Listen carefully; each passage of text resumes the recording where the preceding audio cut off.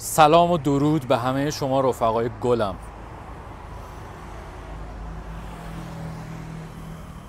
امیدوارم هر جا که هستید به راه باشید. حالتون خوب باشه. موضوع این ویدیو پاک کردن یک بازی کامپیوتری نیست. موضوعش رویارویی با ترس هاست. با اطمینان خاطر بهتون میگم. اگه دارید الان زندگی می‌کنید دارید نفس می‌کشید در طول زندگیتون قطعا با چالش های سختی روبرو خواهید شد. از دست دادن یک عزیز شکست تو زمینه های مختلف زندگی. برای همه اتفاق میفته چالش های سخت طاقت فرسا بیماری چه جسمی چه ذهنی و روحی.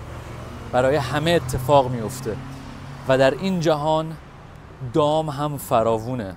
چیزهایی که ما رو از رویارویی با این ترس ها فراری میده. یک فرار موقتی که اون فرار موقتی اگه تکرار بشه میشه اعتیاد.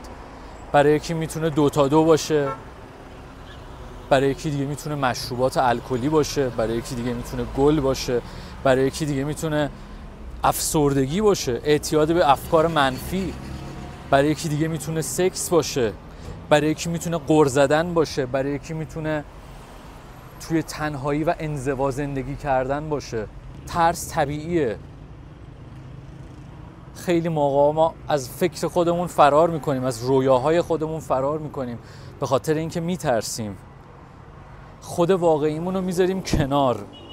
به یکی به قول پسر میگن که علم بهتر است یا ثروت میگه تجربه. اینا رو من از روی تجربه به دست آوردم. و خیلی دوست دارم این تجربه رو منتقل کنم به کسایی که دارن ویدیوهای من رو می‌بینن. شاید که سنشون از من کمتر باشه. و این چیزی رو که من رو در سن 26 سالگی آگاه کرد آزاد کرد اونها بتونن امیدوارم در سن 16 سالگی 18 سالگی 22 سالگی متوجه بشن. حتی اگه تجربهش نکنن حداقل بهش فکر کنن که این چیز عادیه و طبیعیه. ترس طبیعیه. ترس از نشنیدن. ترس از شکست. ترس از اینکه آدم خودش رو تو موقعیت وضعیتی قرار بده که یا کاری بکنه که مورد تمسخر قرار بگیره مورد قضاوت دیگران قرار بگیره. همه این ترس ها طبیعیه. ولی نباید ازشون فرار کرد. باید زد تو دل ترس. بهرام توی یکی از آهنگای آلبوم جدیدش خیلی حرف قشنگ زد. گفت بترس از هر چیزی که به سمتش میری که این ترس نیست که تو رو داره می‌کشه عقب یا می‌کشه به سمت غلطی. همچین چیزی. یعنی ترس یه چیز طبیعیه یه چیز عادیه. و هر چیزی هر چیز خوبی موفقیت پول ثروت خوشحالی روابط خوب پشت دیوار ترسه. پشت دیوار ترسه. آگاهی تجربه خرد. پشت دیوار ترسه. یه تعریفی شنیدم از خرد که خیلی برام جالب بود. خرد یعنی تجربه منهای احساس. یعنی اتفاقی مثلا برای آدم میفته.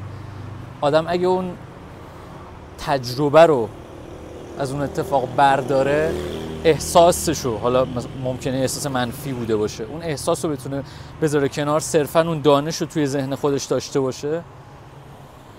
این میشه خرد. خرد پشت دیوار ترسه. آزادی آزادی روحی مالی پشت دیوار ترسه. و جامعه امروز میترسه. مردم خیلی ها میترسن. پناه می‌برن به اعتیادات به اعتیادات سطحی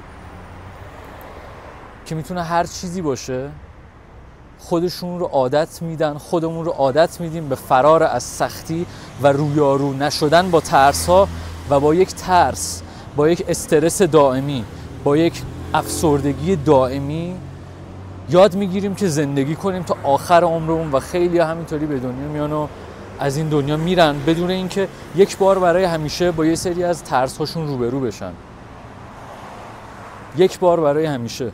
فرار کردن از درد و سختی نکشیدن یکی از ویژگی های انسان مدرنه که در نهایت فکر می‌کنه که من خودم رو نمیندازم به سختی. این ریسک رو نمی‌کنم. چون میترسم نبشنوم چون شاید تحقیر شم چون شاید شکست بخورم شاید پولم از دست بدم شاید موفق نشم یا هر چیز دیگه ای بنابراین پناه می‌برم به اعتیادات خودم و ذره ذره نابود میشم. ذره ذره افسرده و عصبانی و یک آدم پر استرس میشم. این اصطلاح که میگن فلان فلانی یه کاری کرد ترسش ریخت خیلی اصطلاح خوبیه. بعضی ترس بیشتر ترس ها اصلا در ذهن ماه در چارچوب ذهنی که ما برای خودمون داریم یه سری تصوراتی داریم که اگه من شکست بخورم اینطوری میشه. اگه من موفق نشم اینطوری میشه. اگه من نبشنوم اینطوری میشه. وای دنیا به آخر می‌رسه. یا حتی اگه من می‌خوام برم بوکس مشت بخورم ممکنه اصلا دیگه نتونم پاشم. یا من که بوکسور خوبی نمیشم. من که فوتبالیست یا ورزشکار خوبی نمیشم. و این ترس ها همش یک چارچوب ذهنی نامرئیه یک قفس نامرئیه. هر کاری که هر انسان دیگه ای تونسته انجام بده شما هم می‌تونید. و جهان رو که نگاه کنید آدم هایی هستن که در زمین های مختلف به دستاوردهای بزرگی رسیدن. همه اون انسان ها ترس رو تجربه کردن. و اتفاقا افرادی که به درجات بالاتری از موفقیت رسیدن توی زمین های مختلف مثل ورزش مثل کسب و کار مثل هنر خیلی زمین های دیگه انسان هایی بودن که بیشتر از بقیه ترسیدن و ترس رو تجربه کردن و بیشتر از بقیه تونستن به ترس خودشون غلبه کنن. امیدوارم که لذت برده باشید از ویدیو. دمتون گرم که تا انتها تماشا کردید و امیدوارم چیزایی که گفتم توی ویدیو باتون به اشتراک گذاشتم به درتون خورده باشه و خود من امروز یک و کلا چند روز اخیر برام پرتنشترین شاید پرتنشترین و پر استرسترین یا بهتر اینطوری بگم از پرتنشترین و پر استرسترین روزای زندگیم بود.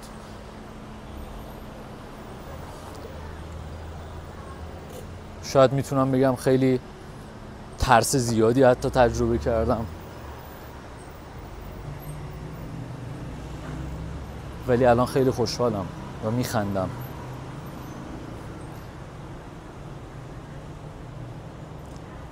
چون ترسیدم با ترس هم روبرو شدم رفتم سمتش و دیدم که قفس نامرئیه.